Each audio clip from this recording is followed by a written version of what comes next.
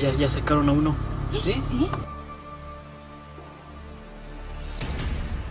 Varias cuadras a la redonda fueron cerradas. La atención se centró en el callejón Francisco y Madero dentro del fraccionamiento Guanajuato en Dolores Hidalgo. En el lugar, agentes ministeriales acompañados por elementos de seguridad pública llevaron a cabo un fuerte operativo. Incluso hasta el ejército mexicano hizo presencia en la zona.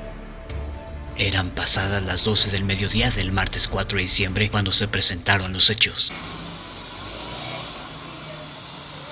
Ante el asombro de los automovilistas, los elementos encapuchados levantaban sus armas, listos para accionar el gatillo en cualquier momento. Su blanco era una misteriosa casa. Pasaban los minutos cuando alrededor de la una de la tarde se presentó actividad en el sitio. Dentro del domicilio sacaron a una persona, la llevaban tapada del rostro, al parecer con su propia camisa, mientras sus compañeros le cubrían la espalda. Detrás de él, otro elemento salió también con algo entre sus manos. Vecinos curiosos por la acción hacían como que limpiaban las puertas de su casa para no perder detalles sobre lo sucedido. Hasta el momento se desconoce cuál fue la acción que generó el enorme operativo. Finalmente, después de los sucesos el ambiente se relajó y gradualmente volvió la circulación a su movimiento ordinario. Para el sistema de noticias de TV Independencia, informó Jesús Neri.